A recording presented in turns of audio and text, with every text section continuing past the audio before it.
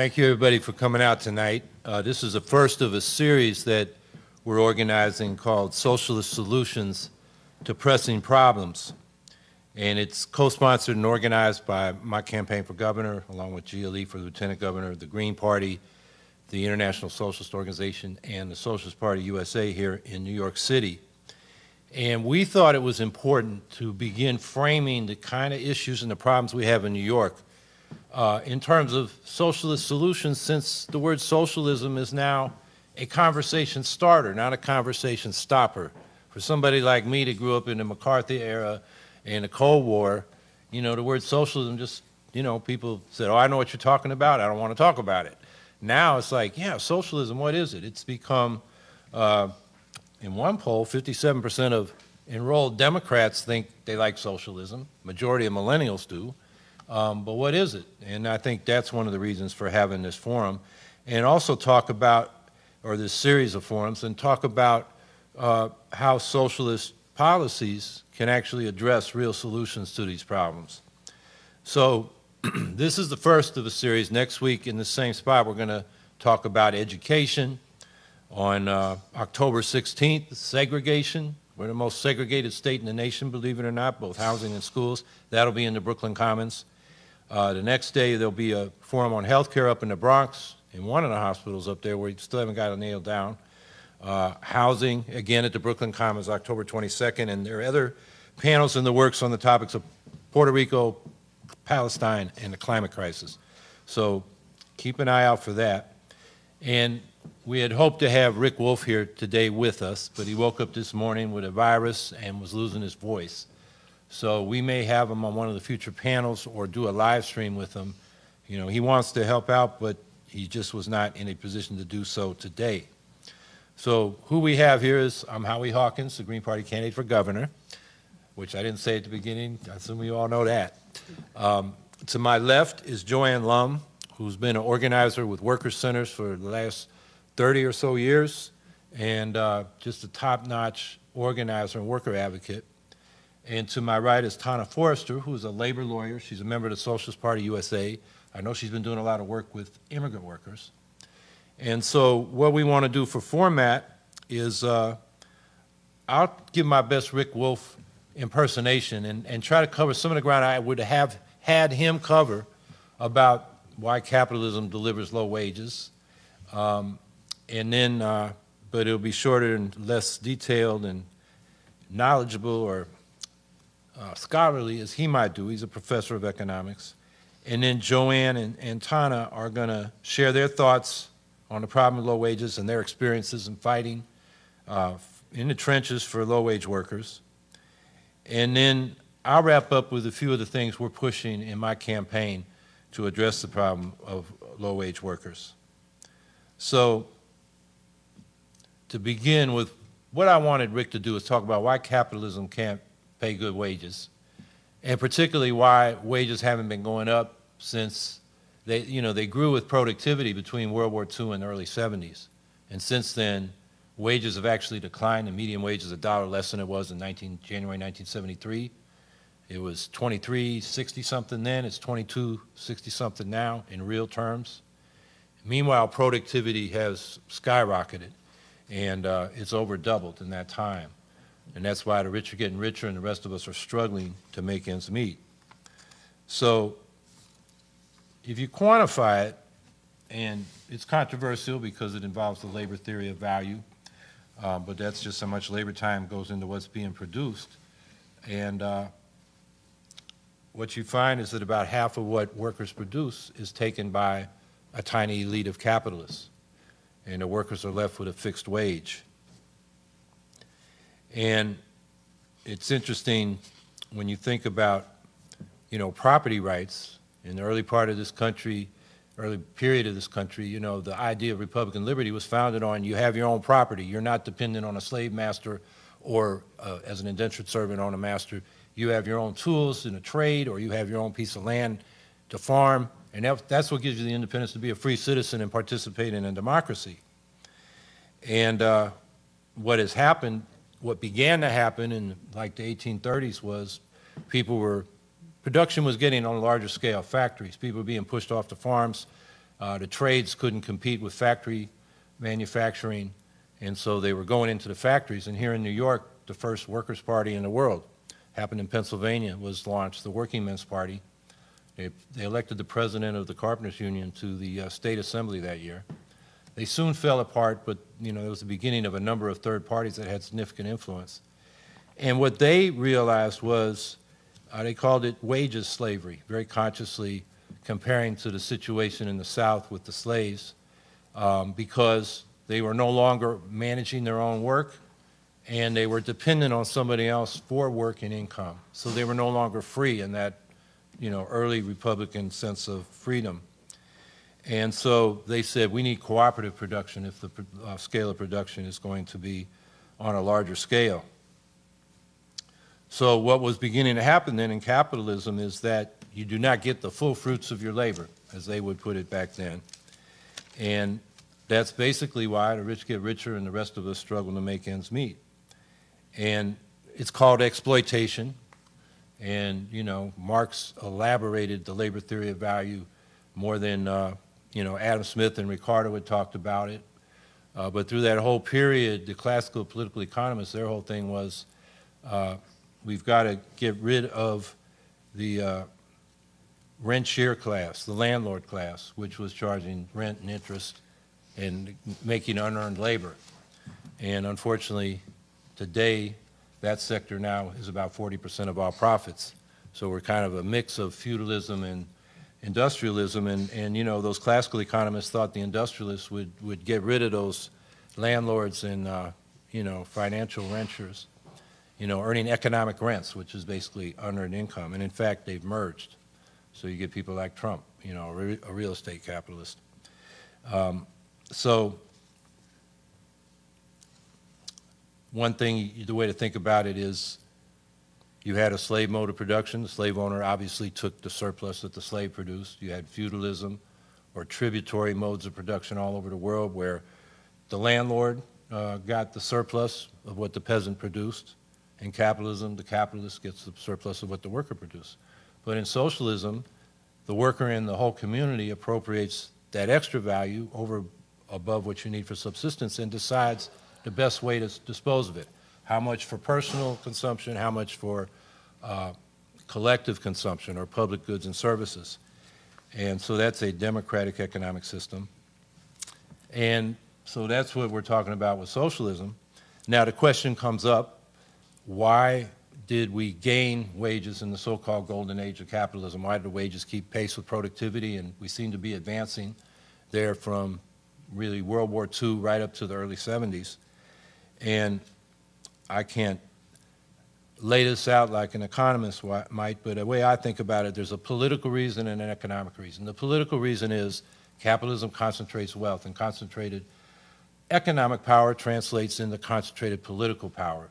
So they have imposed uh, this freeze on wages because they can politically, and they can buy the politicians and not just control the politicians by campaign contributions, but they can withhold credit from a government. Like, you remember Dennis Kucinich, the boy mayor of Cleveland, kept his promise. He wouldn't privatize the municipal utility, and the banks that wanted to privatize it said, oh, yeah, we're pulling your line of credit. And because, you know, the tax revenues were fluctuating, he couldn't make payroll. He was bankrupt. Kucinich was in exile for 20 years. They weren't able to privatize it because we had a super inflation right after he got thrown out of office. And Cleveland looked back 20 years later and realized Kucinich had saved them a couple hundred million dollars in rates compared to what the suburban private utility was charging. Um, but at the time, the capitalists, you know, they, they dictated to Kucinich what would, what would happen. Um, and then the other thing capital can do is strike. When, when Clinton came in, he had a very modest reform program of middle-class tax cuts and some investment in education and infrastructure. And Robert Rubin from Goldman Sachs and the uh, head of the Federal Reserve, uh, Greenspan at that time said, no, you can't do that because Wall Street wants a balanced budget, fiscal austerity, or they won't invest to get you out of the Bush recession. So Clinton very famously said, you mean the future of my economic program and my reelection depends on the Federal Reserve and a bunch of effing bond, bond traders?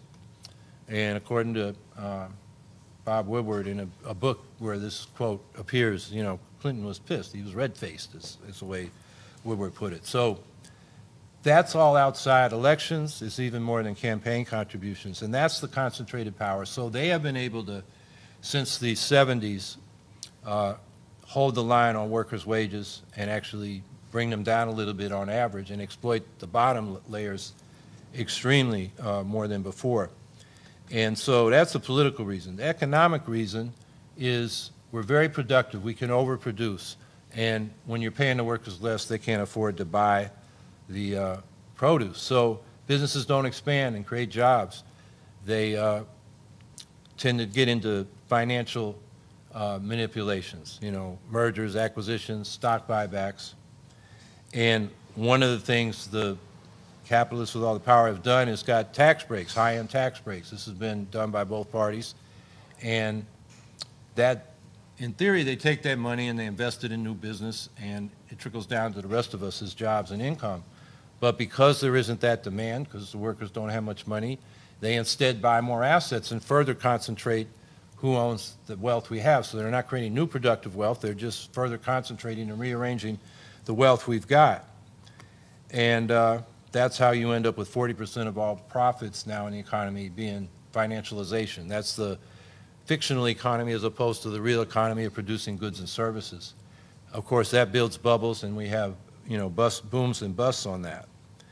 Um, but that's what's been going on, and I think that explains why uh, we have not had wages grow along with productivity. One is the capitalists have the power, and the other is the economic system. We, we have overproduction.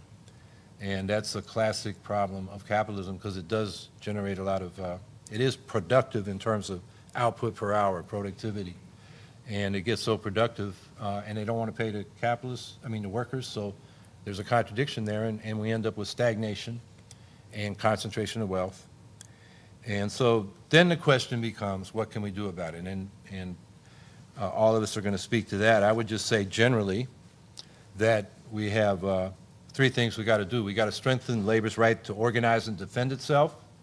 Secondly, we got to push for the government uh, to have high labor standards and uh, starting with the minimum wage that creates a floor in the labor market if we want to get wages up. And then the socialist solutions are to start doing the things that build a socialist mode of production, cooperatives in the private sector, and making our public services and agencies and enterprises in the public sector democratic. Because they're not democratic like NYCHA. You know, a lot of people make money off the contractors. The tenants don't have anybody on the board, and NYCHA's been this, besides the disinvestment, you know, you got lead, mold, elevators don't work, the boilers don't work, the roofs leak, you know, it's been neglected. So if we control our public uh, enterprises and agencies, then they can serve our interests. So I'm going to stop there uh, with just that outline and, and then maybe come back to some more specific policies we're advocating in the campaign. But uh, I think we'll have JoAnn speak next about what she's been doing and some of the issues around low wages that uh, she's been fighting. So go ahead. Thank you, Howie. Um, so, as Howie mentioned, I have worked uh, for a number of years with a couple independent worker centers uh, based here in New York City, like NMASS. And these are cross-trade, you know, workers of all different kind of industries, um, all different kind of races, so coming together around workplace issues, but also issues in the communities where people live. Uh, so, oh, um, so since we're uh, talking tonight about socialist solutions uh, to the low-wage epidemic, it seems to me that socialists have abandoned a key battle that was fought like a century and a half ago um, that really spoke to the core of this problem and the reality of working people's lives. And that was the fight for the eight hour day back. You remember then? um, and so I feel like today, 150 years later, this is something that we should, it's the right moment to take up this fight, this fight for the right to a 40 hour work week. And the, reason I say that is that we're seeing the, all these divisions uh, fueled among workers. There's more scapegoating going on, discrimination. Unscrupulous employers are taking advantage of Trump's immigrant bashing and fear mongering to exploit, extract more from immigrants and workers of color, especially. Um, now, workers around the country are being pitted against one another to survive. Everyone's struggling to survive. So, some are working long hours, some can't get employment or are underemployed. Wages are dropping, people are developing more health problems as a result, there's more stress. Uh, and meanwhile, elected officials and state and national campaigns have succeeded in getting the minimum wage increased. Uh, but the lack of enforcement of the labor law has really spurred more wage theft, actually, so that a lot of workers uh, are not getting the minimum wage, and they have to scramble even more to make ends meet. So wealth inequality has widened even more. So it seems like it's time for us to take what we inherited from like this revolutionary past and build upon it, go beyond it. We need to get at what working people are facing right now. Um, the long work hours and how it promotes greater wage disparity, wealth disparity, and greater unemployment. Every day, I'm seeing workers who are struggling like this, working so many hours or shut out of employment or not being paid for the caregiving work that they do. So we see, for example, busboys being paid $3.25 an hour. This is New York City. And then having tips you know, kept by their employer on top of that. We see home attendants who are working 24 hour shifts in their patients' homes and who are paid for only 13 of those hours, 11 hours for free. A lot of people, like what um, Howie was just mentioning just now, are proposing solutions like raising the minimum wage or forming co-ops, cooperatives. We've, we have tried some of this in some of the groups that I've worked with, or individuals I've worked with. For instance, uh, a worker owned restaurant in Queens, uh, land trust, uh, housing cooperatives in Lower East Side of Manhattan. Co ops are defensive measures, they're survival mechanisms, but I don't think they're the solution. Because raising the minimum wage and forming co ops about economic survival. They, they help certain sectors of workers, but they don't really get at the political system. They don't really challenge the political system. They don't really help raise working class consciousness or really help to unite the working class. So, for instance, raising the minimum wage is good. Of course, we need that, but it leaves out all the workers who don't get minimum wage. You know, so like a lot of the people that we see who don't even get the current minimum wage, and so raising it just means more wage theft, actually, if there's no enforcement. So pushing for reforms in a reformist way actually kind of strengthens the system because it makes people feel like the system's not so bad. We can, we can make it less, you know, more humane, not so cruel. So, what would building a movement for the eight hour day, the right to an eight hour day, what would that look like if we, you know, tried to do it in not a reformist way? We, do, we need to engage working people in addressing their immediate needs because people really are struggling, right? Struggling to survive. But we need to do it in a way that develops the working class leadership and like a way to connect our day to day with the long long term vision, our long term goals. So I'd like to share an example of one of the campaigns that I'm involved in right now that is about fighting for control of our time, and that's the Ain't I a Woman campaign, which Howie actually has supported. Um, in the last few years, we've been seeing a lot of home attendants, home care workers coming, coming to us. Um, in New York, 93% of these home care workers are women. Most are immigrants, um, women of color. And many of these home attendants are taking care of patients in their homes for 24 hours because it's medically needed. Like a lot of these patients are bedridden or they have Alzheimer's or they you know need assistance through the night being turned over or going to the bathroom. Home attendants aren't allowed to leave their patient's side for that 24 hour shift. And some workers work four days, five days, six days in a row, 24 hours.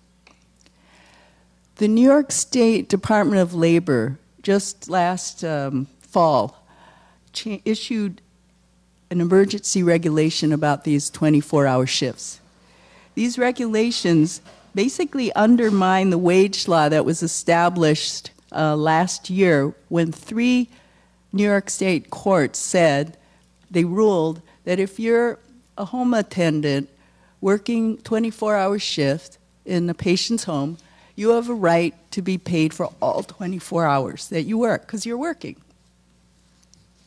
But the Labor Department's regulations allow the employers to avoid, avoid this. They can get around it. They have to, and they can force the home attendants to prove that you didn't sleep at night, to be able, like at least five hours without interruption, in order to be paid. Home attendants are saying that these regulations of our government, our state government, are creating conditions for a modern, modern day slavery because it they force workers to work day and night without pay for the night. This is like beyond wage exploitation. Uh, it's not enough that the women be paid for every single hour of the 24 hours, right? Because that's, that's still it's crazy 24 hours or days on end. I mean, and so just calling for the pay is not enough. That's like, okay, getting overtime pay after 40. It doesn't address the time issue, the control of time. Because these women working 24 hour shifts, they can't sleep, they can't go home, they can't see their families, they can't take care of their health. Their, their physical, mental health breaks down. Already, and the DOL regulations basically kind of support the home care industry to continue doing this, um, cheating the workers and forcing these 24 hour shifts. Already, with um, the threats to DACA program, I remember uh, executives from home care agencies freaking out. They were saying, What are we going to do if, you know, because many of the home care workers have DACA and they see it as a source of cheap labor. Now the industry also says if we have to pay home care workers for all 24 hours that they work, this is going to bankrupt the industry. I mean, it sounds uh, very reminiscent of the white elite and the elected officials justifying slavery, right? Like, what are we going to, this is going to cause the demise of the plantation economy, the American economy, if there's no more slavery in this country.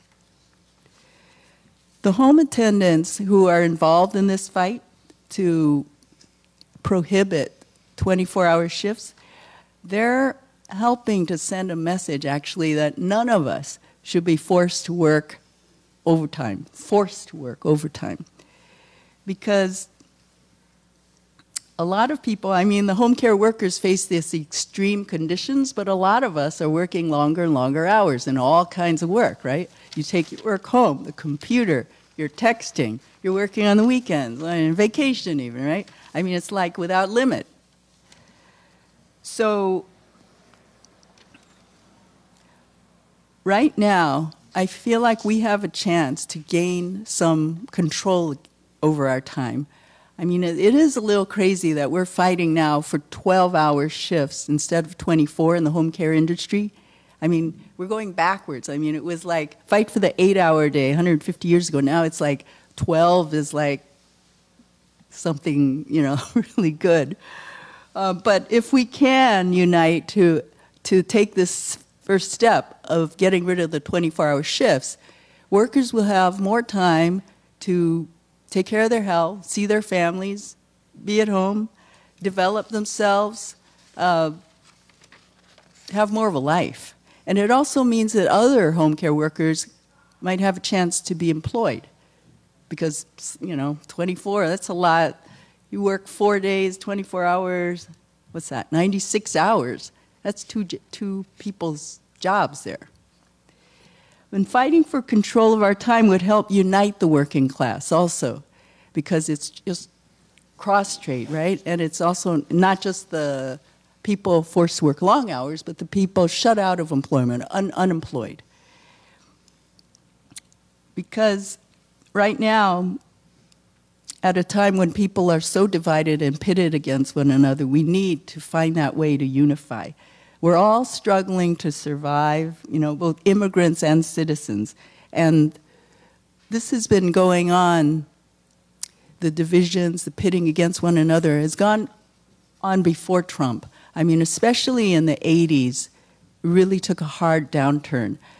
And one key factor was an anti worker, anti immigrant um, provision called employer sanctions, which was part of the 1986 immigration bill, you know, um, passed under Ronald Reagan. This is the provision that basically criminalized immigrants. It created an underclass in our country, like a class of workers, undocumented, you have no rights. And so that's why undocumented workers can be super exploited now, abused. And that's why we're pitted against one another, immigrant against citizen, and then our wages and conditions go down for all of us. So this bill was not just anti immigrant, it was anti worker, really has divided the working class. So, in response to a lot of these anti immigrant attacks these days, a lot of people are calling for sanctuary or amnesty or papers for dreamers. I feel like it's, we need to go beyond these, these defensive measures also. We need to kind of be more proactive. Like, we need to come together, we need to unite workers to say no more criminalization of immigrants, no more underclass, right?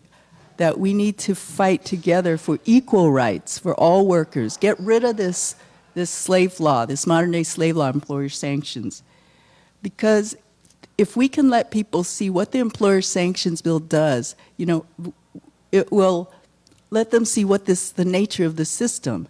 I mean, the system, just like black codes, you know, around the time of Reconstruction South, when it was used to force freed black slave back onto the plantation. If we can join people to see how employer sanctions is doing something like that with us, abusing some and then and then dividing us, pitting us against one another. It lets people see how, how the system really works to exploit all of us, to get the most out of all of us. So Trump has brought a lot of people out searching for solutions, and also some of our local elected officials, too, right? Bringing a lot of us out to search for alternatives. So I feel like it's more important now than ever to unite the working class so that we can minimize the power of the, of the bourgeois right, um, you know, have workers gain more control over our time, our work, our health, our communities, and this way lay groundwork for more fundamental change. So I hope we can work together to do this. Thank you.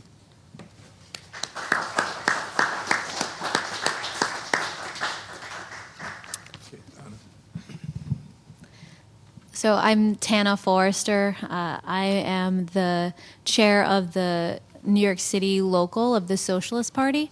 Uh, and I'm, as Howie mentioned, I'm also a workers' rights attorney. Uh, JoAnn uh, touched on several of the things that I would like to talk about today. Um, mainly, there are many ways in which both the Democratic and Republican Party um, use the labor laws as as a weapon to disempower workers and um, uh, strengthen and protect the capitalist class.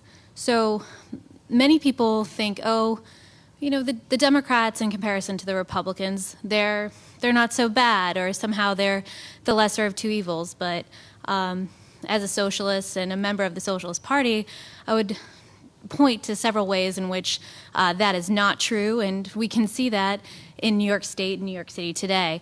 Uh, the law that JoAnn mentioned previously, IRCA, was a you know a strongly supported bipartisan bill, which basically created an underclass of workers. This wasn't something that was put forth by you know, just some sort of evil, nefarious Republicans, but actually had a lot of support from both, like the Democratic Party and, um, you know, uh, bourgeois labor leaders that work in cahoots with the Democratic Party. Uh, they made it so that uh, workers who were uh, you know, working with without papers, they created this category where people, um, you know, needed papers to work, but the the paper authorization was used against the workers. It wasn't something that was used to to punish employers for, uh, you know, em- employing people who were here unlawfully. Instead, uh, this law was actually used as a way to intimidate and control workers and also drive down the wages for both um, people who are here lawfully and people who are here unlawfully. It, it created uh, sinking conditions for all workers, and this is something that was supported in a bipartisan way and still uh, remains uh, something that neither Republicans nor Democrats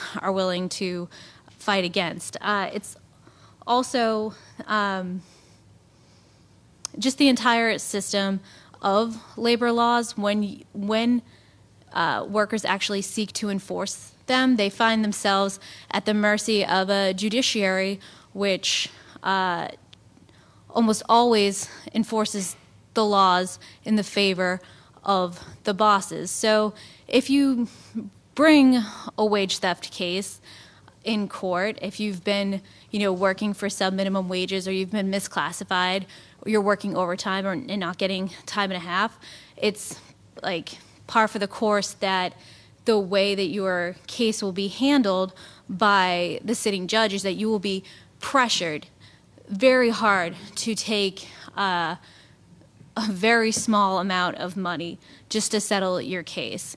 And the overwhelming majority of cases, something over over 92% of cases settle, and workers are left maybe with getting, you know, uh, a percentage of their back wages, but they're when you go in front of a judge at these conferences, the idea in the case, the case law and the motivation um, of these judges is to, you know, make the workers settle, make them be happy for even getting a partial amount of their wages. It's the the system is so heavily skewed uh, towards the employers that um, even getting like uh, minimal satisfaction for what you're actually owed is supposed to be seen as a victory, when in fact it's just um,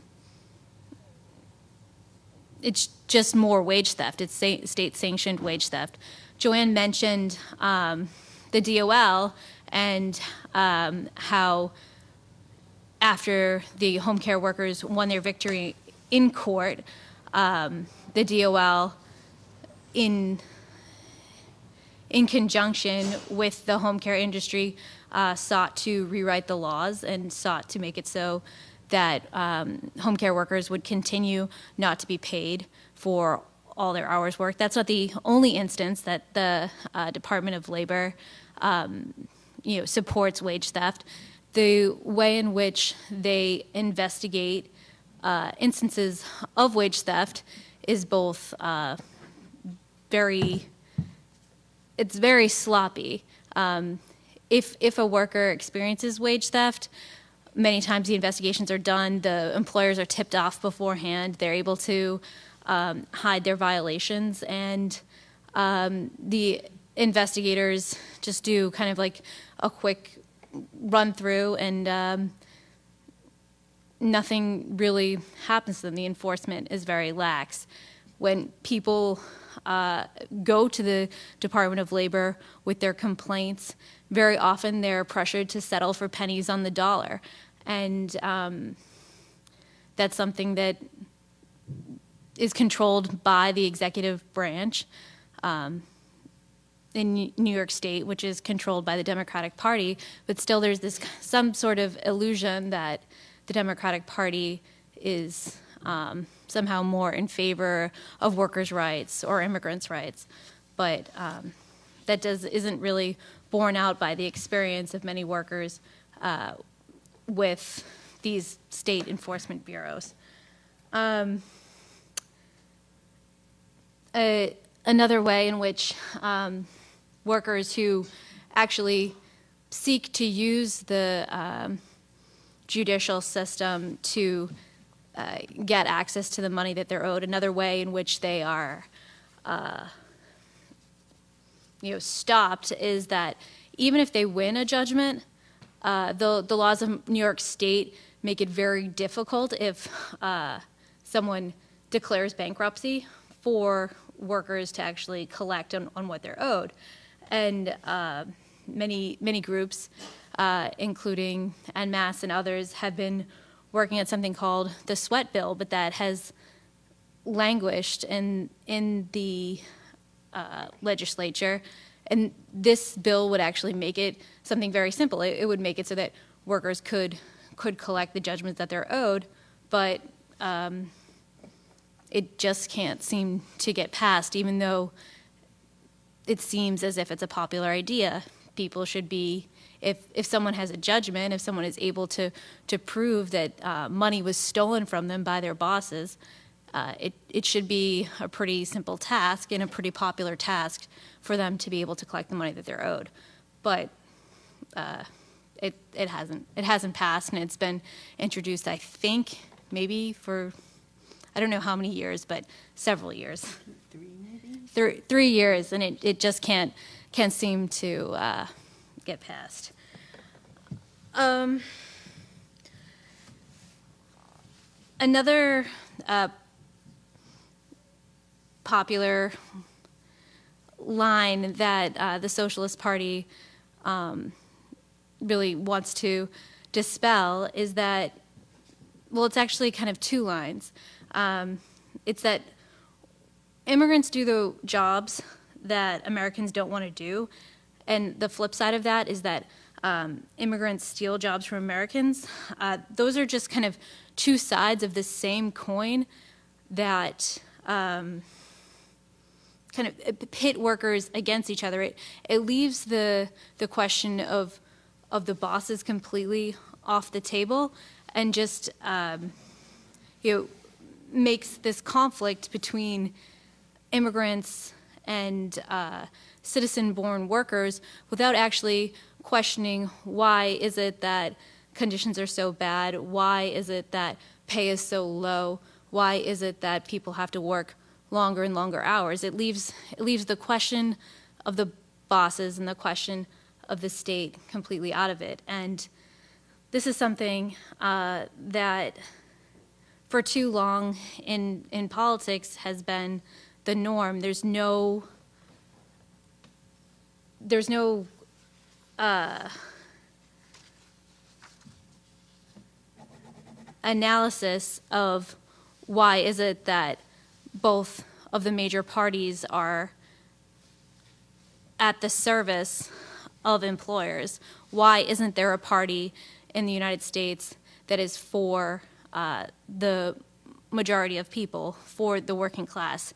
It's just completely accepted that the workers will have to just suck it up and, you know, take paltry reforms while um, the Democrats and the Republicans attempt to curry favor with various business interests.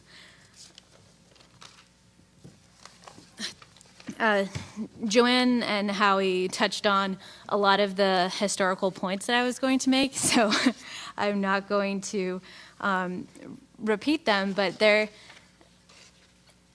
I do agree that this this is a time when it would be very beneficial for um, workers of in all different industries, not just people who are making minimum wage or below minimum wage, but workers in industries where they, com, you know, in comparison, maybe some people think that they're doing pretty good, that, that, that people could uh, get together, recognize themselves as workers, and recognize that neither of neither the Republicans nor the Democrats represent their interest, and that these reforms are um, that are, are being put forth are not actually going to address the problem, the problem of people's time, problem of control over your workplace, the problem of control over society. Um, many, most people don't see themselves represented uh, in the choices that they're offered. Uh, the majority of people don't or can't vote. Um, so I think that there's a time right now where, you know, there's a recognition that there's a problem and uh, that, and as Howie mentioned, socialism doesn't seem to be quite uh, such a, a dirty word anymore, although there is a lot of confusion about what exactly it means. You know, perhaps we're living in a moment in which um, people will reject the two capitalist parties and uh, seek to build uh, a mass socialist party.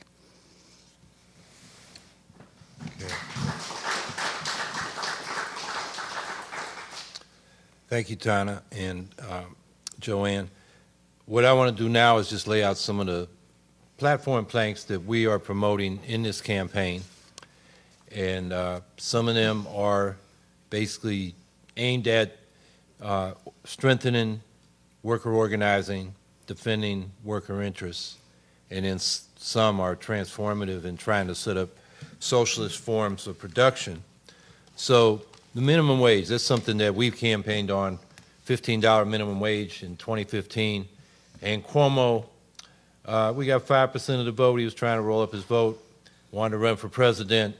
5% is the most any independent third party's ever got, except two socialist candidates in 1918 and 1920. Third party for governor on the left in New York, except for uh, these socialists in 1918 and 1920 who got 5.6 and 5.7 percent. So that's significant. And, and Cuomo saw that, and he had to say, well, what were these people talking about? How do I compete for those votes? He couldn't take us for granted. And we got a ban on fracking, we got paid family leave. He's talking about a $15 minimum wage. In fact, he's running around the state like we got it. You don't even have it in the city till the end of this year. In the suburbs, they won't get it till, uh, where, 2021? In upstate, we get to 1250 in 2021, then they'll look at it again. Right now, it's 1040. It's still a poverty wage. So what we're calling for is 20 by 20 and 30 by 30. If the minimum wage in 1968 had kept pace with inflation and productivity, it would be uh, 2943, uh, at least a couple months ago when I made that calculation. 2943, and now it's 1040 in New York, federally it's 725. I mean, that's we're at the low end of the labor market. Uh, people have got behind. We're producing more than ever for the hours we put in, and we're not getting the reward for that. So I think we need to keep pushing the minimum wage, but as JoAnn points out, you got to make sure it's enforced.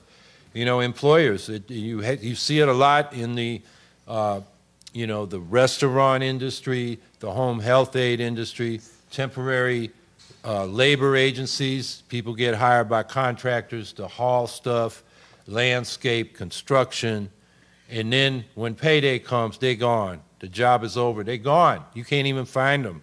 They just stole those people's labor. That happens all the time. But even it happens in corporations. I had it happen to me at UPS. And I wouldn't take no for an answer. I put in, you got it wrong. It was a Sunday. I was supposed to get time and a half, and they stole an hour from me. And so when, when I got the correction, they just put that hour in on straight time. I said, no. Supervisor said, well, I'm not going to do it again. And I said, I'm going to grieve you. He said, go ahead. And then I told the younger guys, uh, start checking your time clocks. Uh, write down your times and then see what you get at the end of the week. And it turns out these supervisors were shaving five or 10 minutes off every shift for these young guys. So we put in another grievance. And it turns out upper management had problems with these guys. They were changing their numbers. You know, they got to report to upper management. And uh, they wanted to make their numbers look good. Turns out they were snorting cocaine. That's why they were crazy when they come out and supervise us, acting like madmen, like drill instructors. And uh, they were doing a lot of other stuff. So the day they were perp walked out by sheriff's deputies was the day we got our double back pay. Best day ever at UPS. But well, that's all to say. It's uh, in fact, I just wrote an article. It's in uh, it's a publication that uh, these people in Brooklyn, they're uh, Caribbean immigrants, have a Workers World Today online publication, and they got a, a paper edition out sometimes. And I, I wrote about uh, wage theft there. And uh, when I was doing the research, there's a group called Good Jobs First. They did some research on this. Uh, the biggest wage theft uh, company is Walmart. Um, some of the names there are Bank of America, Allstate Insurance. FedEx was the second biggest competitor of UPS. I mean, it's corporate America, not just the, you know, people on the margins of the economy. So this is a huge problem. In New York, it's $1 billion a year. That's the estimate. And the Department of Labor brags about recovering $22 million a year. I think that's the settlements, not the money that the workers actually get, which is why we want this sweat law that we were talking about that needs to pass. That enables the workers who get a judgment to have a lien against the assets of the employer and be able to go to court and get that money if the employer doesn't provide the back wages. So that's another reform we can fight for. Remember card check? You know, Obama promised it. That was one of his uh, yes, we can uh, planks in, in 2008. And once they were elected, the Democrats, you know, later for that. Card check means when a majority of workers sign up at a workplace that they want a union to represent them in bargaining, uh, it, they are recognized. Majority get, that's the bargaining unit. And then if the employer doesn't uh, bargain in good faith, the, the, the bargaining unit can demand arbitration to get that first contract. That would help, uh, you know, people organize so they have union protection. Another thing that we're proposing is it's called just cause. Most of Europe, you cannot be terminated without a just cause. It has to be a business-related reason that you're not doing the job, uh, you're not meeting the job's requirements, or the business can't afford to keep the employers. They just can't fire you at will because, you know, now the cousin needs a job and they don't need you because, you know, the boss's cousin or nephew needs a job, that kind of thing or because some other people are willing to work cheaper than you are. Um, so they have it in Montana of all states. It's the only state in the union. So that requires, you know, just cause for termination. We can raise the minimum wage by wage uh, sectoral bargaining. That's how the fast food workers got to 15. Cuomo can convene a wage board and negotiate, bring the, the labor side, the business side, and the government side together and figure out what's a fair wage in that industry. And that can help regulate some of the extreme exploitation in some of these sectors, particularly like the home health care or home attendant area, some of the retail areas, and farm workers. So that's something the governor has the power to do. Uh, JoAnn mentioned the 24-hour shifts. That should just be illegal. And people should be paid overtime when they get to 40 hours on these, uh, you know, if they're doing the home attendant, you know, say there were 12-hour shifts. You know, after the, by the middle of the fourth day, um, you're on overtime for that week. That needs to be uh, enforced, and it's just, you know, pretty, pretty bad when uh, Cuomo's Department of Labor, there are three straight court rulings saying this is illegal, and they cite a federal case somewhere else to justify the regulation, and now these uh, home attendants are back now, I guess, in federal court, right? The- They're back in state court. Um, It's kind of like Andrew Jackson telling the Supreme Court, you know, enforce your damn law about the Cherokee, and he just took the Cherokee off to Oklahoma, the Trail of Tears, because the Supreme Court didn't have an army. That's the kind of arrogance we're getting from the Cuomo administration. It sounds very Trumpian, but uh, that's where we're at, particularly when it comes to workers. Labor law protections are not extended to farm workers or prisoners, who prisoners work for 60 to 20 cents an hour. So these are all things that, you know, a pro-worker governor could promote, and pro-worker legislators. You know, if we had an independent socialist party, if it's the Green Party or Socialist Party or some other thing we get together that's bigger, uh, could be an independent force in politics, could speak up for these things. Right now, uh, we get, you know, some legislators to put legislation in, but then it doesn't get passed because, you know, both of the parties are really business parties. That's who funds their, their campaigns. So they have some progressives, particularly the Democrats, but they're the tail on the donkey. So the other thing we can do is promote socialist forms of production. And, you know, we're calling our campaign for public health insurance, public health care, public housing, repairing what we got, expanding uh, so that we can create more affordable housing the most cost-effective way, public energy, so we can plan this transition to 100% clean energy in 2030, and also provide it at cost, not, you know, for public benefit rather than for the private profit of absentee owners. Public broadband, PS, the Public Service Commission said, as a condition of the Time Warner merger and the charter, you had to build out the infrastructure to underserved areas. Now, Time Warner's called Spectrum. They haven't done it, so Public Service Commission said, the charter, sell it. We said the state should take it over and set up community broadband, which a Harvard study earlier this year said provides better service at lower cost. So the key thing about these public sector things, as I was saying earlier, they need to be democratic. Otherwise, you end up with abuse like we do in NYCHA, like we do with the New York Power Authority, which uh, provides its low-power subsidies, not just to the municipals. We've got public power companies that do get favored uh, access to that hydropower on the St. Lawrence, um, and there are 50 of them in the state, these small municipal utilities. But so do industries, and uh, you know they get it. So, but it's political as to who gets chosen. You know, which factories, which companies. And uh, so if we have democratic accountability, we can avoid the favoritism and, and let everybody benefit. Um, and I think one model we need to look at for governing these public enterprises is something that really came out of the New Left because they looked at, you know, nationalized industries. A bunch of them were nationalized in France and Britain after World War II. Uh, we actually nationalized 25% of our manufacturing during World War II in the mobilization to beat the Nazis. And then we gave it right back to the capitalists, even though capitalists were getting nervous because between the workers and the managers, they didn't need the owners. They were like extra middlemen and they were wasting money. And uh, so they got real nervous and, and, you know, long story there, but anyway, they got their assets back. Um, but the problem in all these cases is, is, the workers didn't have much of a say. The community didn't have much of a say. Um, so when we started looking at these things coming out of the 60s, uh, two models in particular. One was when the uh, Arab oil boycott embargo in uh, 73 during the Yom Kippur War, uh, you know, gas prices skyrocketed. The gas companies were actually hoarding the gas to, you know, jack up the price. Really created a problem in that 73, 74 recession, which is, I think, the turning point from the post-war compromise where wages were keeping up with productivity, and since then they haven't. They broke the back and scared the hell out of labor. I was, I was a worker then, and I remember just the tone totally changed. But um, there was a model of public power. It appeared in the congressional record, just to show you how things have changed. Uh, Jeff Foe and Lee Webb wrote it, and it was put there by Lee Metcalf, Democrat from Montana back in those days. And uh, Jim Ridgeway and Len Rodberg were also writing about this. The books came out. And what it was, was you'd have local power districts where uh, you had the boards elected by the public and the workers, two-thirds public, one-third workers. So the expertise, the workers were on the board, and the public, you know, had the last say because that's who it was for. Uh, similar model with uh, a proposal for a national health service.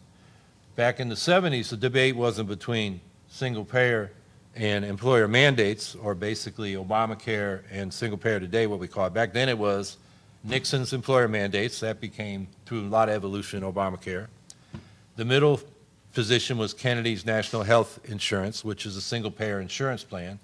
And then the other one was the Dellums' National Health Service, which would put doctors on salary under public, you know, agencies like the National Health Service in the UK or a similar one in Denmark or, or Costa Rica or Cuba. And uh, they called, the radicals called the single payer insurance, what we call it today, the Great Leap Sideways.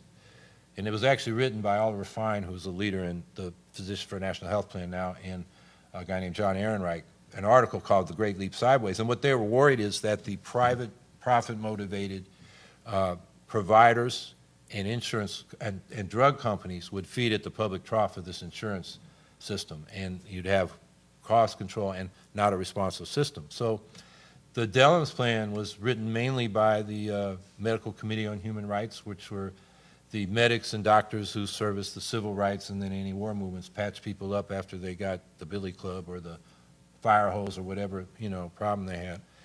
And uh, I think that's the model we need to think about our public agencies. It's a bottom-up accountable system. So you have the local districts, they federate at the state level, the local districts elect that board, and then if you, at the national scale, a national board. Um, And then the worker co-ops. I think we need state banking, and it should have a division like the Mondragon co-ops had that promotes the planning, uh, promotes the worker co-ops through planning, technical assistance, and financing. And we build that sector out. And it's a learning experience for people that they can actually manage their own work, and uh, they get the full fruit of their labor. The more they contribute, the more the company does well, and the more wages, more really income, not wages, that they get. Um, But I think, and this is my last point, the most important thing said tonight was by Joanne, in that, you know, we need a revolutionary approach to this question that develops working-class leadership. And we were talking earlier, I mean, my model, since I was a teenager, was what happened uh, with the Mississippi Freedom Democrats when they went to the Chicago, the Atlantic City Convention and were denied uh, seating, and the Dixie, the segregationists, Dixiecrats, got it. And what happened there was you had a middle-class, Harvard-educated mathematician, Robert Moses, was the leader of SNCC, and he, he directed the Freedom Summer. But when they set up the Freedom Party, you know, everybody assumed he'd be the spokesperson. He said, no, the people here, the rank and file's got to elect their leader. And one of the leaders was Fannie Lou Hamer. And when the compromise came, Johnson sent the liberals, Hubert Humphrey and Walter Mondale and Joseph Rauh, to tell the Freedom Democrats, you made progress. We're going to give you two honorary seats at large. You can wander around the convention, talk to people, but we're going to seat the Dixiecrats. And Martin Luther King, Bayard Rustin said, take it. It's, you know, progress. They're, they're at least recognizing you. And so the Freedom Democrats met, and Fannie Lou Hamer said, you know, no, we didn't work all this way just for no two seats. And that's what happens when, you know, working class people speak for themselves. The middle class leadership, you know, they have relationships, they have uh, things to preserve. The working class people, you know, they got nothing to lose. And uh, th- so they're not going to sell out. And that's why, to me, as we develop these, you know, campaigns to win these reforms, set up these co-ops, whatever it is, we've got to make sure that we do in a way that develops the leadership of working class people, because in the end, you know, we have too many cases of, of NGOs, you know, people come right out of college, they're on the staff of the union or they're working for the NGO, and it's not the working class. In a corporate society, we got the owners, we got the professional managerial class, and the workers. And too much of our movement activity is run by a professional managerial class on the left. And, you know, the workers are props in that, in that setup too many times. So for me, that was, you know, I think the most important thing said here. So with that, um, let's open it up for question and answer and discussion. Sure. Um, I was wondering about the gig economy, because that's a big shift uh, for workers, and uh, I know that for the graphic designers, for example, there are sites where you can go, and you can get people to design your design for you, get thirty different people to make the design, and then they pick out of the thirty people who've already made the design, which one they like. And all these other people get nothing. So you've got this huge, uh, uh, internet economy that's generating jobs, uh, internationally. And there's no international organization of workers at this point. So, uh, y- you know, I, I mean, I'm part of Freelancers Union, and Sarah, I can't remember her name, who runs the Freelancers Union, was talking about the gig economy, like, it's great you'll be able to work in your underwear at home. You know, like, this is a great, everybody's been freed, and really, they're being put into a position that's a lot like the uh, orange pickers in California, where you wait for a truck to come and pick you up, same thing. And uh, it also disembodies the workers from any kind of physical unity, so that they have uh, no ability to get any kind of, uh, uh, anything going together in terms of solidarity. So I I think that's some place where people need to s- think about organizing as well, because the wages are gonna go down, down, down as a result of that. You guys have any thoughts on that?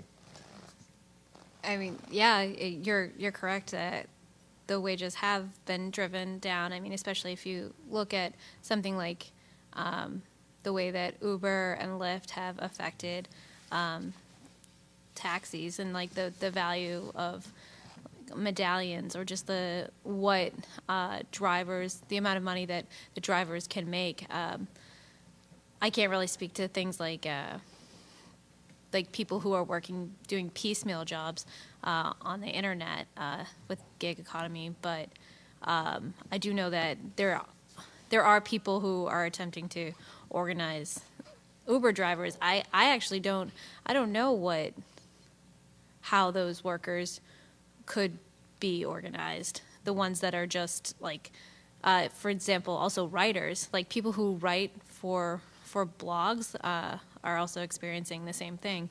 Now they're having people pitch pitch ideas or write sample stories. So the work has already been done. It is then submitted. They people create the content. It's submitted, and then and then one of them gets paid. It's very. I, don't know that that that type of work is. Um, it's. I'm sure uh, someone can think of a way to organize those workers, but it's almost like it's a very different type of work because it's like work that's being performed without even the, the promise of payment.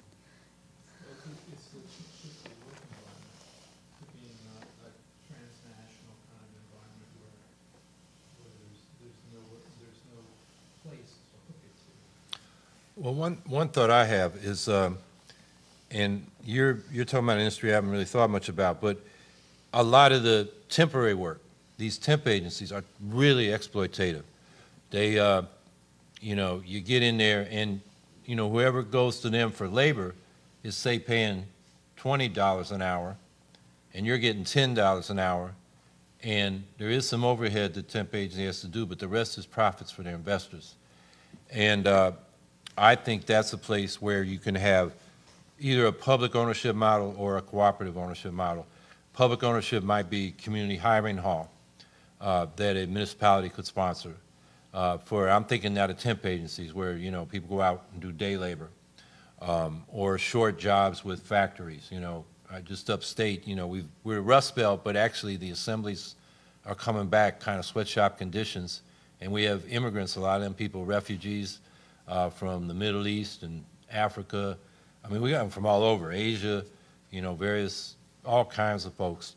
And, uh, you know, I, there are people work assembly line, and then they go out to UPS and work on, you know, a part-time night shift unloading trucks. And uh, it's, you know, I see the wear and tear and the injuries those people have.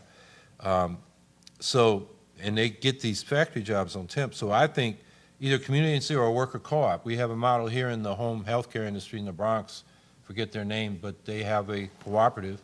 And uh, last time I looked, their home healthcare people were uh, getting a better wage because there was less overhead that the agency was taking and better benefits.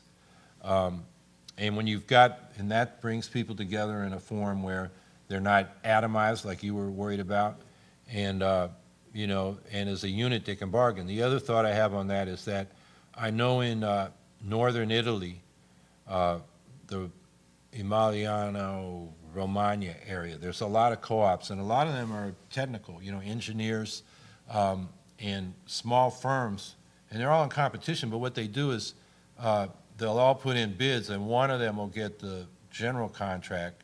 Well, you know, these are with big multinationals for various things that require manufacturing and, or design.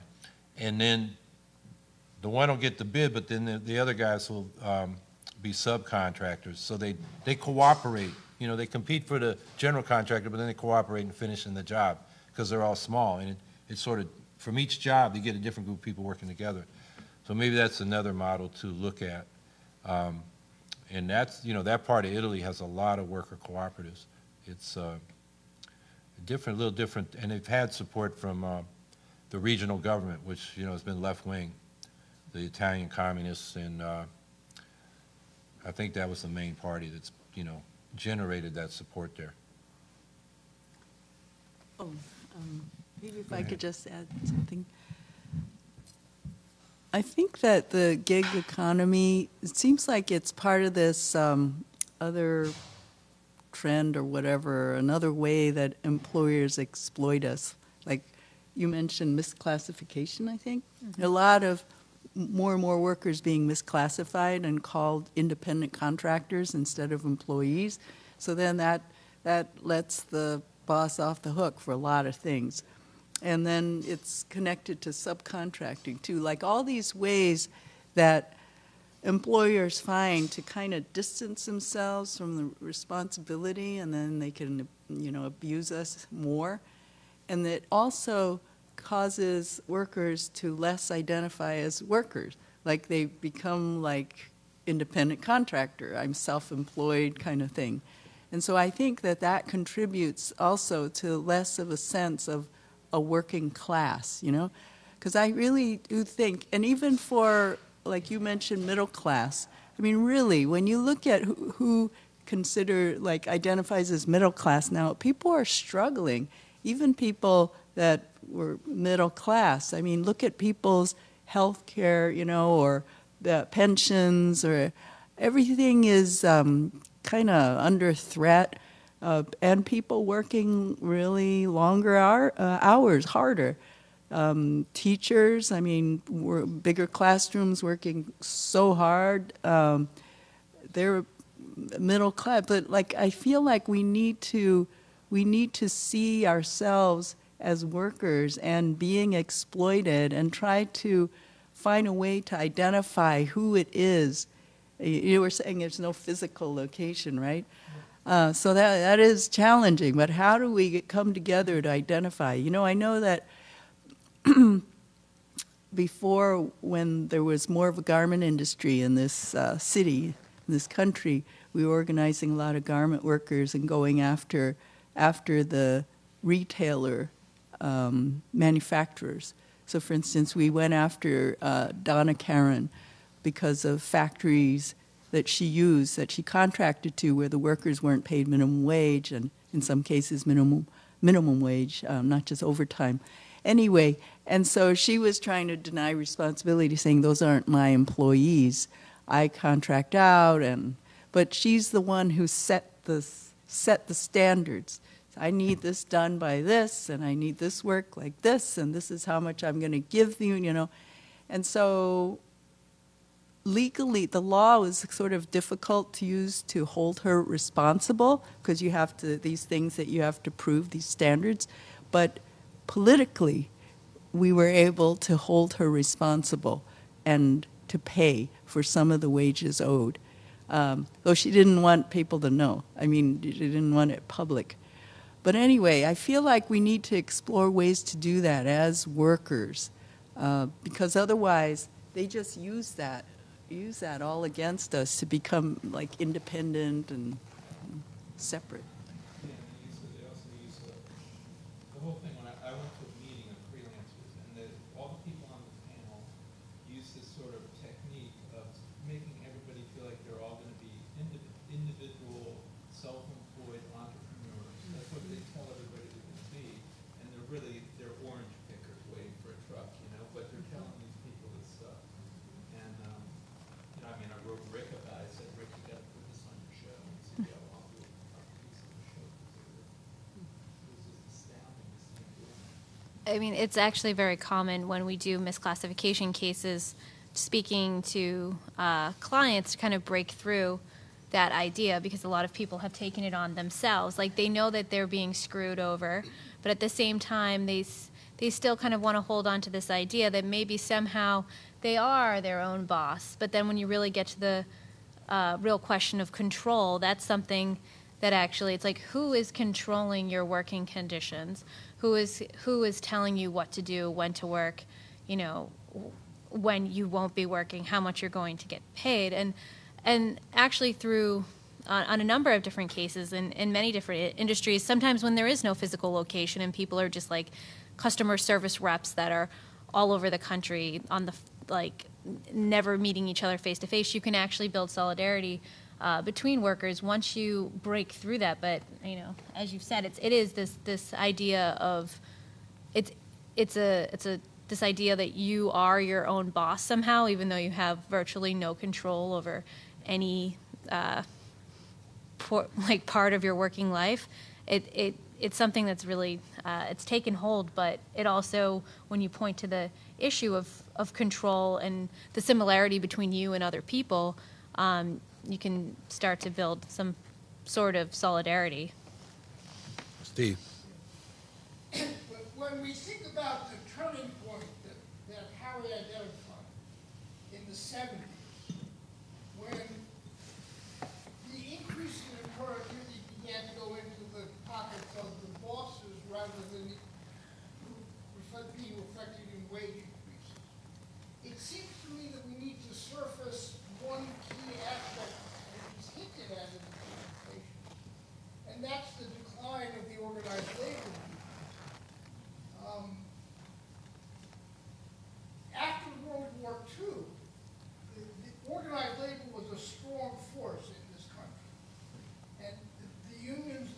CIO especially, had been built in the nineteen thirties. And it represented the, the active organizing of the rank and file. Throughout the fifties and sixties, the unions became top-heavy. Um, the, the- the wage increases kind of felt like they were coming without a lot of struggle, and people got out of the habit of struggling. And the result was, at that moment, in the nineteen seventies, it started with the New York municipal crisis. Um, There was a calculated, there was a calculation made by, by the, the people at the top, that now they could make a turn, they could start taking back, attack the unions, attack the workers without getting resistance that would force them to.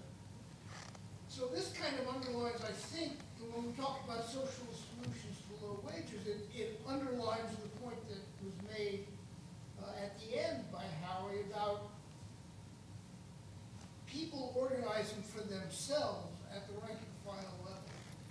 And they've done a, a ton of things. I mean, this, this, you know, all of the ways that they make people um, dissociated from their reality of themselves as workers. And it, it, it, it's on an international scale. It's not just, uh, you know, in the United States, but the competition with other countries, et cetera.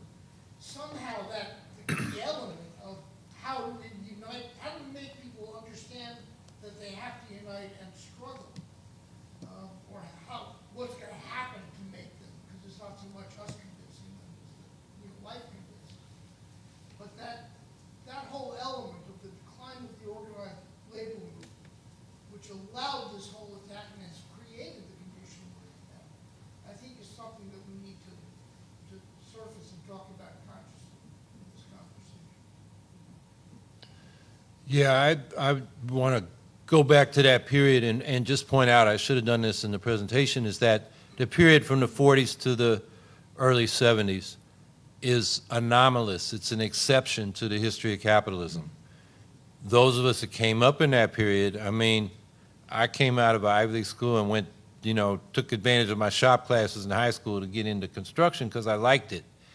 But I thought I'd do better than it turned out, you know, in, in blue collar work because of the experience of the 60s. And, you know, I heard a few Marxists saying, you know, this, it's not going to last. my dad was no Marxist, but he grew up in the Great Depression, and he always told me that. But, you know, I was a little bit rebellious, and that I should have listened. And uh, it really did turn. And I think the reason is political. Um, you know, organized labor was strong, and there had been upheaval in Europe, and the capitalists were a little bit scared. And when the GIs came home, you know, they MacArthur wanted to send the GIs in the Philippines and Okinawa over to China. And, you know, when the soldiers started hearing about that, they rebelled. They had arms. They said, We're not going. We won the war. We're going home. And, you know, it was like Vietnam. The soldiers stopped fighting. The army basically stopped fighting.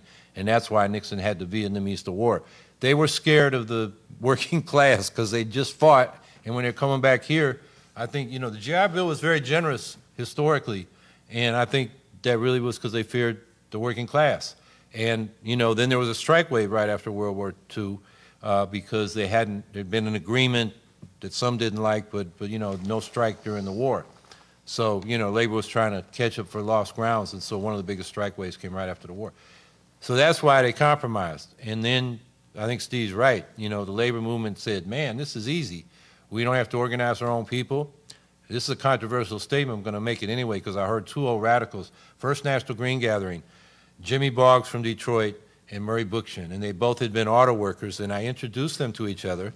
Uh, they'd never really met, but they looked at each other and they said, "Didn't we? Weren't you at the UAW convention in 1948?"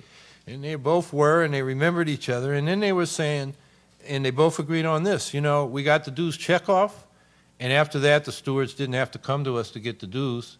You know, which you could hold and make sure the steward was being responsive and the whole bureaucracy, and that's when the bureaucracy detached. Now, Janus, you know, that decision has ended the automatic dues checkoff. I think the unions that survive uh, the best are the ones that are going to organize and be responsive to their rank and file. And I can tell you, you know, being in the Teamsters, there was no orientation for new workers at the UPS hub where I was. Uh, and, you know, these young kids who come in, they, to them, the union was like an insurance policy. You pay your premiums and you get some benefits. You know, the, the union wasn't something you fight the employer with or they, they don't even know how to file grievances anymore. It's really changed the culture there. And I can keep going on about that, but I'll stop. But uh, I think it's important to understand that what happened in this, that period after World War II was an exception. And otherwise, as capitalism has grown, the rate of exploitation has grown, the rich have got richer, and you know the system really just wants to give you enough to survive so you can come back and work another day and make some more money for the owners. And uh, that's the system. It's a system of exploitation just like slavery was or feudalism was. Yeah, I mean, I, I actually want to linger on that period of time just a little bit longer, because New York is obviously having to be democratic, especially here in New York City. Um, and, you know, more than seventy years after the fact, we still have the long shadow of FDR informing people, or, or people have the perception that the Democratic Party is the friend of the working man, right? So my question, I guess, is how do we, how do we reclaim that mantle, that that, that is in fact not true, and that, you know, that what we're talking about in terms of what we're offering as socialists, as Greens, you know, as worker cooperatives, is really the model that we ought to be looking towards for the future, from where we go here today, you know, forward. Well, that's why I suggested the slogan Green New Deal back in 2010, because we can point out and appeal to those Democrats that the Democrats have never fulfilled the New Deal as FDR laid it out in full in his 1945 uh, State of the Union address, where he called for a second Bill of Rights, an economic Bill of Rights. And those rights to employment or livable income, a decent home, comprehensive health care, good education, and some other things, but those are the ones probably most relevant in our context today, were put into Democratic platforms. And every Democrat from Truman to Obama had at least one two-year cycle where they had both house sides of Congress. They never got any of those realized. We don't have any of them. Civil rights movement picked that up and said, yes, but do it without discrimination in employment and education and housing. And so I see us picking that up, and now we got the climate crisis, makes it a Green New Deal. But I would argue politically that to get the climate action, from people that are concerned that, you know, closing down a power plant in their community, lose a tax base, people lose jobs, skeptical, you know, the jobs versus environment thing, to get those people on board for the, you know, really emergency mobilization we've got to have to deal with the climate crisis, we've got to make sure everybody's got their economic rights secured. In the same way, I believe that when the civil rights movement turned from civil rights to human rights, as they said, the black leadership of that movement said the way we're going to stop this white backlash that's mounting in the mid 60s is to secure the economic rights for everybody. We got to champion, you know, the right to these same rights that Roosevelt articulated so that the white people get them too, and then they won't see us as competition and we'll secure our civil and political rights. So you got to build a broad political base. And I think, you know, what we say to those Democrats is, look, the Democratic Party talks but don't do it. And, uh, you know, we really mean it. So I don't know if anybody wants to add. I think also, um, although some people do think that the Democratic Party is a friend to working people, I think most people in general just think that they're just politicians and liars like everyone else. And maybe they have some sort of idea, maybe that they're slightly like lesser of two evils. But I think that there's just like this huge swath of people who are just completely disengaged from politics and just feel like it's one bad thing after another. And those are the people that I think socialists should be engaging and being like, yes, you are right. Those people are against you. However, there there is another option because there's not really. I mean, in New York, yeah, there's committed Democrats, but usually when when you speak with people and you talk about anything from you know wage laws to health care, it's really actually kind of obvious how terrible the Democratic Party is. Many people don't really need that much uh, convincing, but people, what people do need convincing about is that there could be a possible another option. I feel like that's the real difficulty is that that it just seems like there's these two absolutely terrible options and that they're just the representatives of the capitalist class and what what is anybody else supposed to do? I mean, I almost don't even want to waste time talking to like a truly committed Democrat because they just they if they can't see what's in front of their face, then it's almost not worth it. But I think that the real place to look is people who like most people already recognize the people in power in this country have absolutely uh, no qualms about repeatedly sc- like screwing them over. Um, I guess I just want to touch on the, both of the two last questions a little bit. Uh, I feel like we need to come out more boldly and um, not just limit ourselves to kind of defensive measures, like I said earlier, because I think that's what the Democrats do. Um, it's it's like these small reforms that sound like they're helping people but don't really and it's it's for different sectors of the population or it it doesn't really help doesn't speak to the real problem of people that's why i guess i, I was starting my presentation just talking about harkening back to our history and some you know revel, you know looking at this revolutionary past, like why, why the call for time, control of time was so critical. It doesn't just speak to the economics of different sectors of workers, but how can it unite all of us? Because time is our lives, what we do with our lives. And all of us seem, well, more and more of us seem to be struggling, and we don't have time to take part in meetings like this or whatever you you know you're just struggling to survive. Um, and I guess I wanted to mention um, about the, the 70s and after, like, I, I really feel like, like I mentioned that the 80s were very key too around deregulation and all, but also this employer sanctions provision because it was particularly, it's been particularly um, a, a strong knife in, in dividing the working class and and pitting workers against one another. So, like Tana earlier mentioned, a lot of people, a lot of Americans think, citizens think that immigrants are taking my job, or doing work, or the other thing is doing work that Americans don't want to do. So if you have an employer sanctions provision that criminalizes workers, basically says those um, immigrants, those undocumented immigrants, don't have rights, then that's why bosses pay $3.25 an hour and then can threaten the workers like, oh, I'll call ICE or whatever, especially nowadays if you complain. And then, like, what U.S. citizen worker is going to work as a busboy for $3.25 an hour? Like, you know, most Americans are not going to take that job, right? And so, why are the undocumented taking it? Because they're, you know, they come here compared to where they're from. It's something, um, and uh, so it it it really divides it divides uh, workers.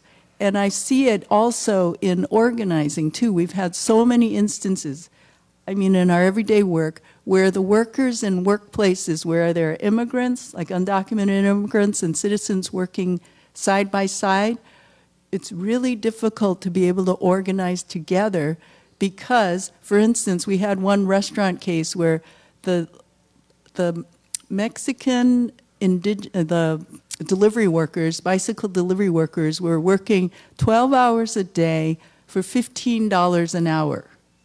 So tips on top of that, but still, 50, it's like $1.25 an hour. That's what it amounted to. And so the Chinese documented workers doing delivery in their cars were paid $25 a day as opposed to the 15. When the Mexican workers decided to try organizing, and we were working with them to organize, fight for their owed wages, they tried to talk to the Chinese workers, but the Chinese workers felt like, well, I'm making more than you guys. Why should I, you know? Uh, and then when the Chinese workers tried to talk to the boss about um, getting uh, increase in wages, they were told, "Why should I pay you more? I can get more Mexican workers and pay less." And when the Mexican workers had tried earlier to ask the boss for more money, he said, "Why should I pay you more?" Because you don't have your own car, you don't have a car like those guys, because the Chinese guys were paying for the gas and everything. So, I mean, pitting them against one another like that. And also, even for unionizing perspective, it's uh, this this employer sanctions has made it really difficult because even though you can join a union if you're undocumented, when if you are fired for organizing, you can't you can't uh, get your job back because you're not supposed to be employed because you don't have papers. So this is how our system works, you know. So oh, even like when Trump is all uh, anti-immigrant, right? We have a lot of our Mexican members say their relatives are still crossing the border, sometimes paying as much as nine thousand dollars to a coyote to come over here and go straight to work in the service industry here in New York. So people are still coming, and it's as if you know our system they kind of it's kind of like pretending you know but then needing wanting the you know we're we're like built on a slave economy just in a different form um, so that's why I just feel like that is a really we've got to see how dangerous that law is because right now people are just looking at you know scapegoating one another um, yeah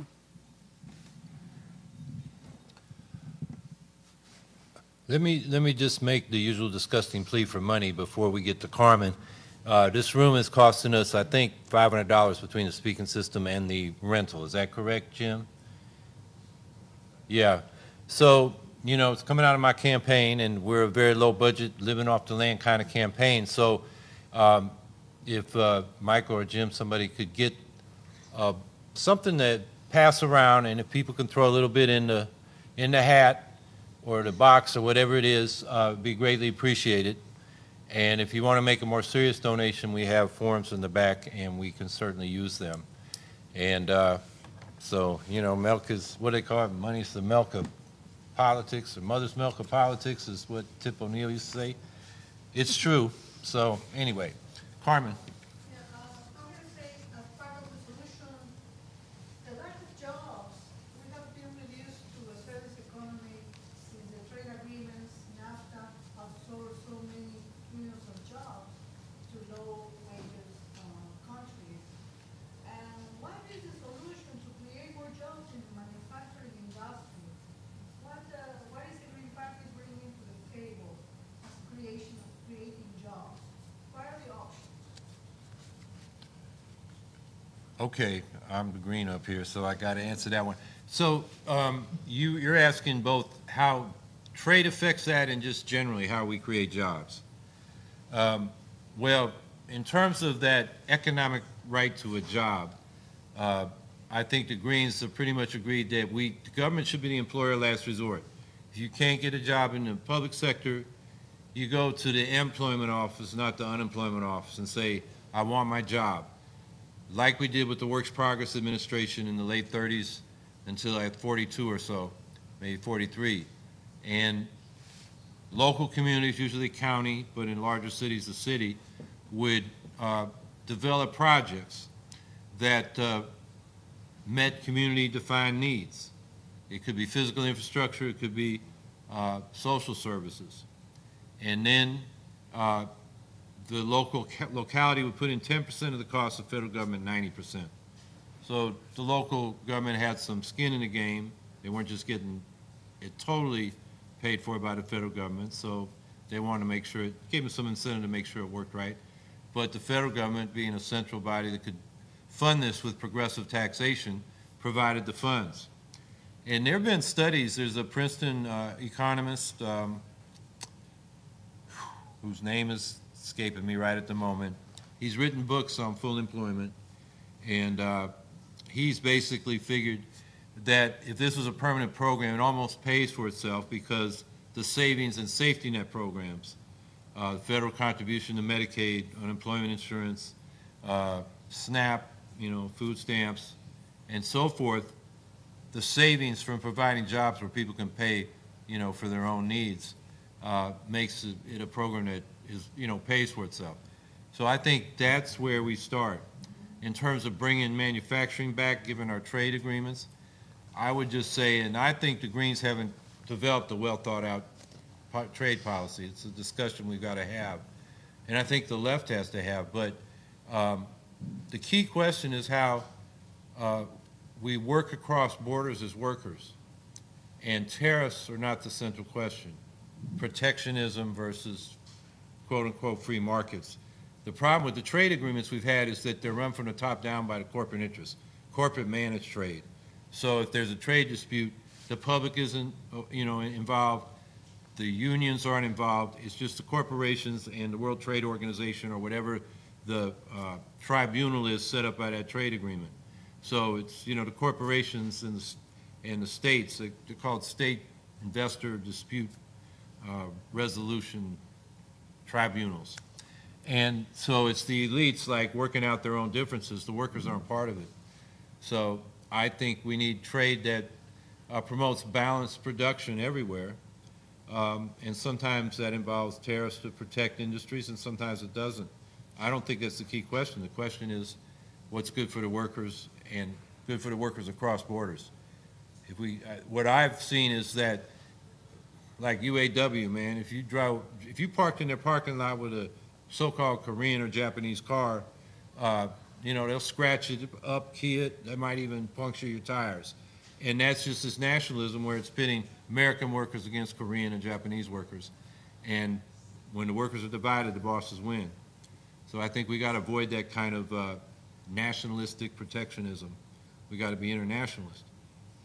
But that's not a question of tariffs or not. I think it, the tariffs depends is in the worker's interest or the boss's interest.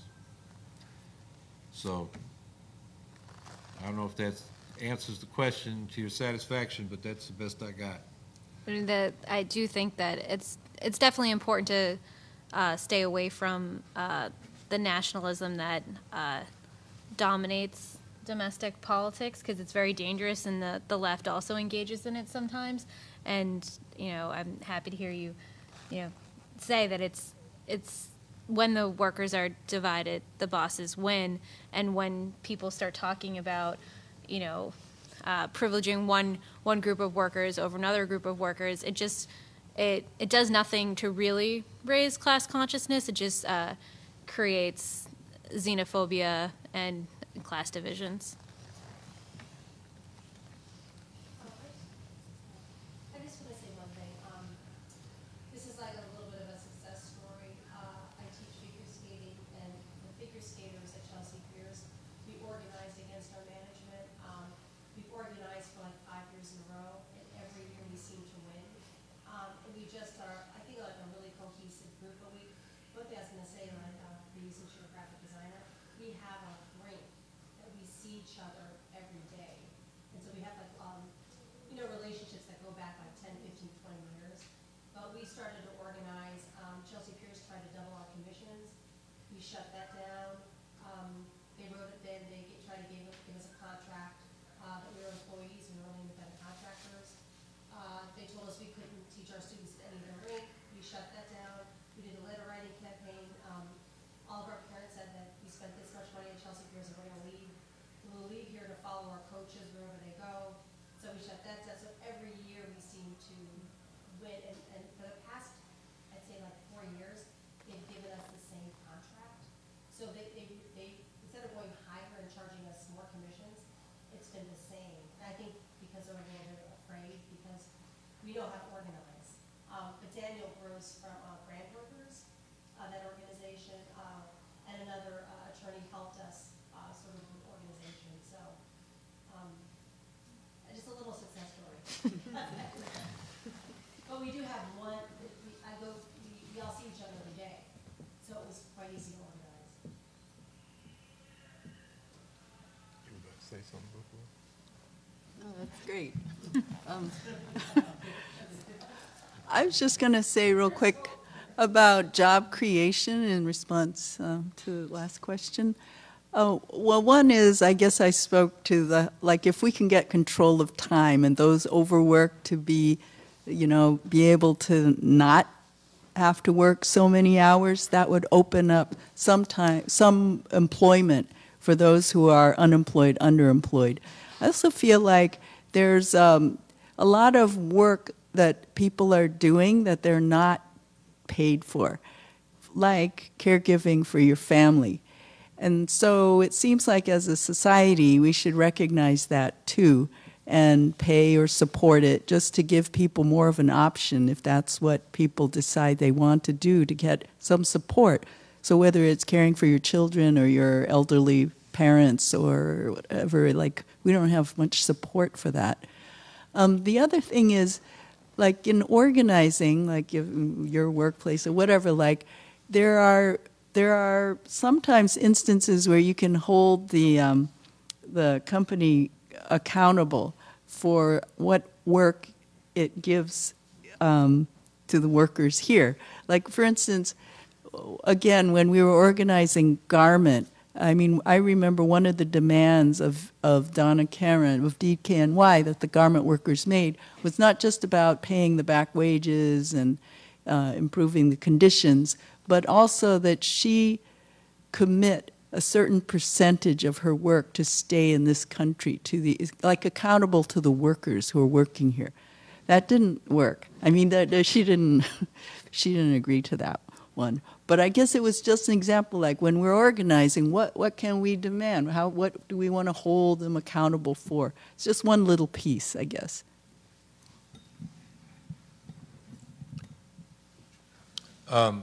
This discussion reminds me of a slogan I saw the Green Party of Germany adopt uh, 1984. They, you know, they just got into the Bundestag, and you know, people all over the world were looking at them, and then their their eco-socialists in Hamburg were the principal authors of the economic program they finally adopted, and they had a section on a fair distribution of uh, work and income, which had to do with time. So this, the economy becomes more productive.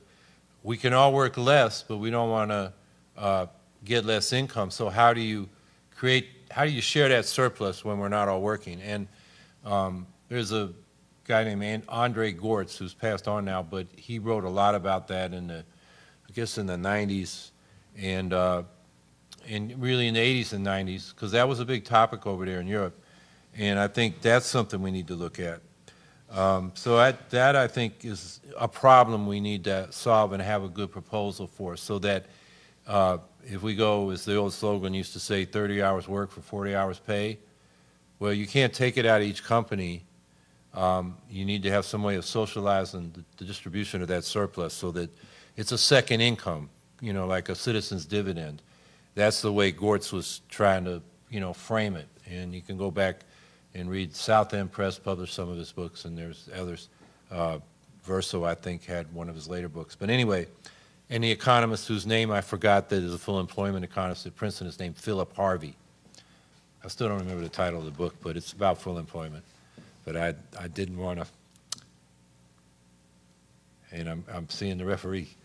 It's time. So yes, uh, we're running, okay, it's 8:57. We have the room until 9. So I guess it's a good time to wrap up. I appreciate everybody coming. Remember, next week, we're going to be here talking about education. Huge issue. Uh, We've got the most segregated schools in the country. We've got this high-stakes testing they're using to justify privatization. And Cuomo isn't funding the schools like the courts said the state should out of the campaign for fiscal equity case and says a bunch of nonsense about, well, he increases it every year and we spend more per capita, not accounting for the distribution, high poverty districts. There's a lot to talk about. My running mate uh, will be speaking, Jia Lee, who is a public school teacher at the Earth uh, School here in New York City.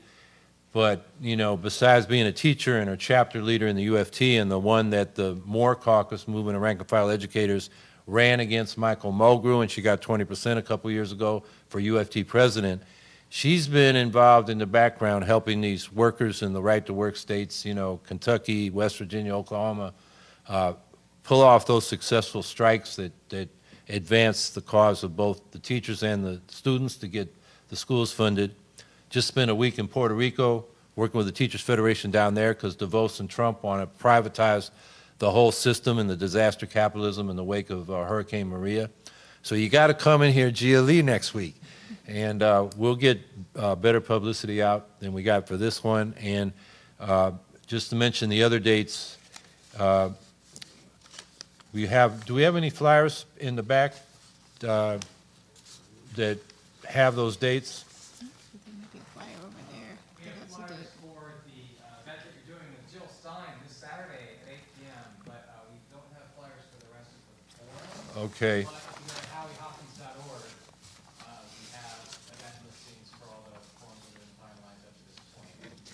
And we're going to get a Facebook page up with the whole schedule. And uh, just to mention, so that's next week, and then the next one is October 16th. That's scheduled now. Uh, That's about the problem of segregation. Uh, We got Margaret Kimberly talking about the politics, both black and white politicians, why they don't want to touch it. Uh, She's from Black Agenda Report. Michael Sussman, our Attorney General candidate, who is uh, basically, you put his resume up against all the other candidates, all the Democrats that ran in the primary, the Republican, his resume dwarfs them. Hundreds of cases in state and federal court, landmark cases like the Yonkers desegregation case. If you saw uh, Show Me a Hero, that HBO miniseries, he's the lawyer featured in it because he led that fight. Uh, He got a $45 million settlement for black and Latino workers discriminated against by the civil service test and promotion process police brutality, public corruption, environment. This guy does it all. And uh, he's independent enough that he'll investigate Cuomo as well as Trump. And so that's on uh, October 16th. October 17th, we're going to do health care. That's in the Bronx. And then housing on October 22nd. We'll have uh, people from different housing groups around the city, including people that I think JoAnn works with in the Citywide Anti-Displacement Coalition. And uh, so I hope you all will come and bring more folks, and we'll continue this discussion of socialist solutions to pressing problems. Thank you.